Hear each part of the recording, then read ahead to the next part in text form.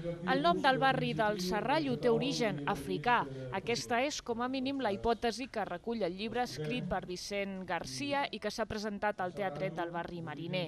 L'autor ha arribat a aquesta conclusió després de fer una recerca i anàlisi de diverses fonts documentals. Garcia manté que el nom Serrallo té relació directa amb la Guerra d'Àfrica que va tenir lloc el 1859 i 1860 i es refereix a una construcció típica. L'autor destaca que hi ha altres ciutats on també hi ha serrallos. Una espècie de palau abandonat que hi havia al nord d'Àfrica, a la vora de Ceuta, i en la Primera Guerra d'Àfrica els espanyols eh, el fan servir com a refugi, com a aixopluc. Va haver gent de Tarragona que va ajudar allí i d'allí ve el serrallo. No és l'únic serrallo que hi ha a Espanya, n'hi ha alguns més, el que passa que els altres estan documentats i no és el cas del nostre serrallo.